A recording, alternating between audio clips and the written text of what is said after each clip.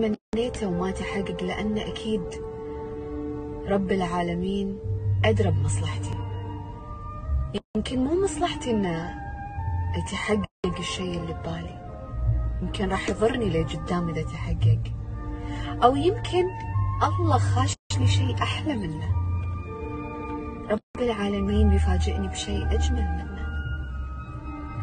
فالحمد لله أنه ما تحقق.